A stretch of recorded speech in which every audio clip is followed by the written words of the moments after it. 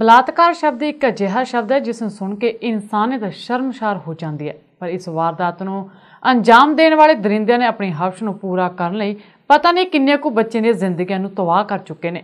ਦੂਸਰੇ ਪਾਸੇ, ਬੇਸ਼ੱਕ ਸਰਕਾਰ ਵੱਲੋਂ ਇਹਨਾਂ ਦਰਿੰਦਿਆਂ ਦੇ ਖਿਲਾਫ ਸਖਤ ਕਾਨੂੰਨ ਬਣਾਇਆ ਗਿਆ, ਪਰ ਫਿਰ ਵੀ ਬਲਾਤਕਾਰ ਦੀਆਂ ਘਟਨਾਵਾਂ ਰੁਕਣ ਦਾ ਨਾਮ ਨਹੀਂ ਲੈ ਰਹੀਆਂ, ਬਲਕਿ ਆਏ ਦਿਨ ਕੋਈ ਨਾ ਕੋਈ ਬੱਚੀ ਇਹਨਾਂ ਹਵਸ਼ਿਆਂ ਦੇ ਹੱਥੀ ਚੜ ਕੇ ਆਪਣੀ ਇੱਜ਼ਤ ਤੋਂ ਹੱਥ ਧੋ ਰਹੀਆਂ ਨੇ।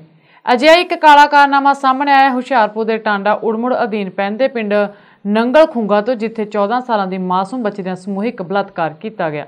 ਪੀੜਤ ਲੜਕੀ ਦੇ ਮੁਤਾਬਿਕ ਜਦ ਉਹ ਸਕੂਲ ਵਿੱਚ ਮਨਾਏ ਜਾ ਰਹੇ 15 ਅਗਸਤ ਦੇ ਪ੍ਰੋਗਰਾਮ ਤੋਂ ਬਾਅਦ ਆਪਣੇ ਘਰ ਵਾਪਸ ਜਾ ਰਹੀ ਸੀ ਤਾਂ ਰਸਤੇ ਵਿੱਚ ਉਹਨਾਂ ਦੇ ਹੀ ਪਿੰਡ ਦੇ ਇੱਕ ਨੌਜਵਾਨ ਸੰਦੀਪ ਨੇ ਉਸ ਨੂੰ ਰਸਤੇ ਵਿੱਚ ਰੋਕਿਆ ਤੇ ਕਿਹਾ ਕਿ ਤੂੰ ਮੇਰੇ ਘਰ ਆ ਤੇ ਨਾ ਆਉਣ ਤੇ ਪਰਿਵਾਰ ਨੂੰ ਜਾਨੋਂ ਮਾਰਨ ਦੀ ਧਮਕੀ ਦਿੱਤੀ, ਜਿਸ ਤੋਂ ਬਾਅਦ ਉਹ ਉੱਥੋਂ ਭੱਜ ਕੇ ਘਰ ਆ ਗਈ। ਪਰ ਰਾਤ ਨੂੰ ਸੌਂਦੇ ਹੋਏ ਸੰਦੀਪ ਅਤੇ ਉਸਦੇ ਦੋਸਤ ਉਹਨਾਂ ਦੇ ਘਰ ਵਿੱਚ ਜ਼ਬਰਦਸਤੀ ਘੁਸ ਗਏ ਅਤੇ ਉਸਦੀ ਮਾਂ ਤੇ ਭਰਾ ਨੂੰ ਬੇਹੋਸ਼ੀ ਸਪਰੇਅ ਨਾਲ ਬੇਹੋਸ਼ ਕਰ ਦਿੱਤਾ। ਉਸ ਤੋਂ ਬਾਅਦ ਸੰਦੀਪ ਤੇ ਉਸਦੇ ਦੋਸਤ ਮੈਨੂੰ ਜ਼ਬਰਦਸਤੀ ਚੁੱਕ ਕੇ ਲੈ ਗਏ ਤੇ ਮੇਰੇ ਨਾਲ ਬਲਾਤਕਾਰ ਕੀਤਾ ਤੇ ਸਵੇਰੇ 5 ਵਜੇ ਮੇਰੇ ਘਰ ਵਾਪਸ ਛੱਡ ਗਏ ਜਿਸ ਦੇ ਬਾਅਦ ਸਾਰੀ ਘਟਨਾ ਆਪਣੀ ਮਾਂ ਨੂੰ ਦੱਸੀ। ਮੈਂ ਨਾ 15 ਅਗਸਤ ਸ- 15 ਅਗਸਤ ਦੇ ਸਕੂਲੋਂ ਆਉਂਦੇ ਸੀ। ਸਾਡੇ ਬੇੜੇ ਦੇ ਦੋ ਮੁੰਡੇ ਸੀ, ਮੈਂ ਇਕੱਲੀ ਆਉਂਦੇ ਸੀ, ਉਹਨਾਂ ਨੇ ਮੋਟਰਸਾਈਕਲ ਹੌਲੀ ਹੌਲੀ ਕਰਕੇ ਮੈਨੂੰ ਘੇਰਿਆ। ਤੇ ਉਹ ਕਹਿੰਦੇ ਸੀ ਕਿ ਰਾਤ ਨੂੰ ਘਰ ਨੂੰ ਆਉਣਾ। ਮੈਂ ਕਿਹਾ, ਮੈਂ ਨਹੀਂ ਆਉਣਾ, ਮੈਨੂੰ ਆਪਣੇ ਭਰਾਵਾਂ ਤੋਂ ਡਰ ਲੱਗਦਾ। ਉਹ ਕਹਿੰਦੇ, ਨਹੀਂ ਕੁਝ ਵੀ ਹੁੰਦਾ। ਫੇਰ ਨਾ ਉਹਨਾਂ ਮੈਂ ਨਾ ਸਕੂਲੋਂ ਆਉਂਦੇ ਹੀ ਸੀ। ਰਾਸਤੇ 'ਚ ਸਾਡੇ ਵਿਹੜੇ ਦੇ ਦੋ ਮੁੰਡੇ ਸੀ। ਉਹਨਾਂ ਨੇ ਘੇਰ ਲਿਆ ਮੈਨੂੰ। ਫਿਰ ਜਦੋਂ ਮੈਂ ਘਰ ਆ ਗਈ ਤਾਂ ਉਹਨਾਂ ਨੇ ਕਿਹਾ, ਉਹ ਮੈਨੂੰ ਚੱਕ ਕੇ ਲੈ ਗਏ। ਸਾਡੀ ਕੁੱਤੀ ਵੀ ਸੀ, ਉਹਨੂੰ ਸਪਰੇਅ ਸੰਘਾ ਗਏ ਮੰਮੀ ਨੂੰ ਵੀ ਸੰਘਾ ਗਏ ਤਾਂ ਮੇਰਾ ਮੂੰਹ ਬੰਨ ਕੇ ਲੈ ਗਏ, ਛੋਟੇ ਭਰਾ ਸੀ, ਉਹਨਾਂ ਨੂੰ ਵੀ ਸੰਘਾ ਗਏ ਫਿਰ ਦੋ ਮੁੰਡੇ ਸੀ, ਇੱਕ ਦਾ ਨਾਂ ਸ਼ਨੀ ਸੀ, ਇੱਕ ਦਾ ਨਾਂ ਰੋਹਿਤ ਸੀ। ਤੀਜਾ ਪਤਾ ਨਹੀਂ ਲੱਗਾ ਕੌਣ ਸੀ, ਉਹਨੇ ਮੂੰਹ ਬੰਨਿਆ ਸੀ ਆਪਣਾ। ਫਿਰ ਇਹਨਾਂ ਨੇ ਨਾ ਗਲੀ ਚੋਂ ਕੰਧ ਟਪਾਈ ਤਾਂ ਆਪਣੇ ਘਰ ਲੈ ਗਏ। ਪਹਿਲਾਂ ਇੱਕ ਜਣਾ ਉੱਤੇ ਚੜ ਗਿਆ, ਫਿਰ ਥੱਲੇ ਮੈਨੂੰ ਇੱਕ ਜਣੇ ਨੇ ਫੜਿਆ ਤਾਂ ਉਹਨੇ ਜਿਹੜਾ ਪਹਿਲਾਂ ਚੜਿਆ ਸੀ, ਉੱਤੇ ਉਹਨੇ ਮੈਨੂੰ ਖਿੱਚ ਲਿਆ। ਤੇ ਇਹਨਾਂ ਨੇ ਮੇਰੇ ਨਾਲ ਗਲਤ ਹਰਕਤ ਕੀਤੀ। ਉਧਰ ਪੀੜਤ ਦੀ ਮਾਂ ਪਰਮਿੰਦਰ ਕੌਰ ਨੇ ਦੱਸਿਆ ਕਿ ਰਾਤ ਉਹਨਾਂ ਦੀ ਬੇਟੀ ਨੂੰ ਪਿੰਡ ਦੇ ਨੌਜਵਾਨ ਸੰਦੀਪ ਅਤੇ ਉਸਦੇ ਦੋਸਤ ਜ਼ਬਰਦਸਤੀ ਚੁੱਕ ਕੇ ਲੈ ਗਏ ਸੀ ਤੇ ਸਾਨੂੰ ਬੇਹੋਸ਼ ਕਰ ਦਿੱਤਾ ਤੇ ਉਸ ਨਾਲ ਦੁਸ਼ਕਰਮ ਕੀਤਾ ਤੇ ਮੇਰੀ ਪ੍ਰਸ਼ਾਸਨ ਤੋਂ ਮੰਗ ਹੈ ਕਿ ਇਹਨਾਂ ਤਿੰਨਾਂ ਨੂੰ ਫਾਂਸੀ ਦੀ ਸਜ਼ਾ ਦਿੱਤੀ ਜਾਵੇ। ਗੱਲ ਕੁਝ ਨਹੀਂ ਆਈ ਅਸੀਂ ਸੁੱਤੇ ਸੀ ਸਾਨੂੰ ਨਹੀਂ ਪਤਾ ਕਿਹੜੇ ਵੇਲੇ ਇਹ ਆਏ ਆ।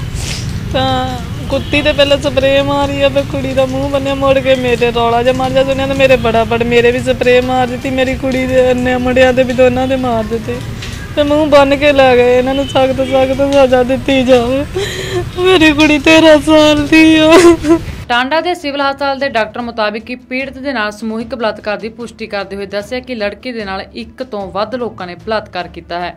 ਅੱਜ ਇੱਥੇ ਪੁਲਿਸ ਦੁਆਰਾ ਇੱਕ ਨਾਬਾਲਿਗ ਲੜਕੀ ਨੂੰ ਲਿਆਂਦਾ ਗਿਆ। ਜਿਹਦੇ ਬਾਰੇ ਰੇਪ ਦੇ ਬਾਰੇ ਉਹਦਾ ਸ਼ੱਕ ਹੈਗਾ।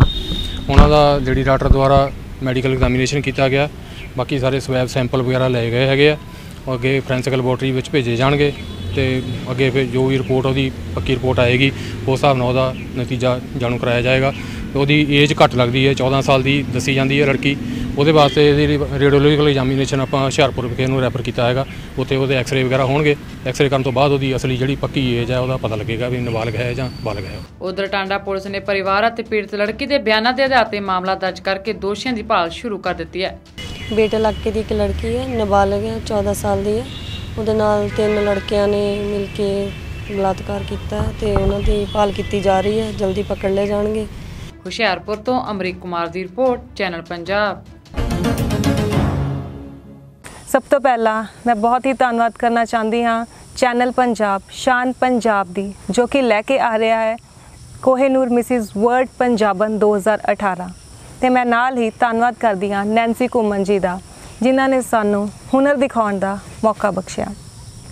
ਤਾਂ ਸੋ ਮਿਲਦੇ ਹਾਂ ਜੀ ਸ਼ਹਿਰ ਪਟਿਆਲਾ 21 ਅਗਸਤ 2018 ਹੋਟਲ ਇਕਬਾਲ ਏ ਧੰਨਵਾਦ। ਚੈਨਲ ਪੰਜਾਬ ਸ਼ਾਨ ਪੰਜਾਬ ਦੀ